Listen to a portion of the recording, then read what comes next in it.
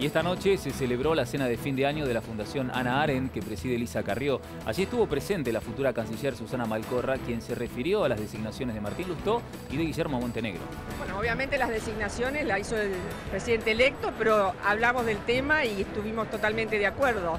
Creo que hemos elegido dos perfiles muy buenos para cada uno de los países.